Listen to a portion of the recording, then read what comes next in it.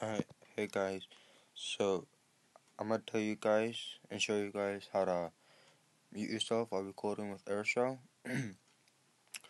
so first, what you have to do is record, like right now, like the way I am.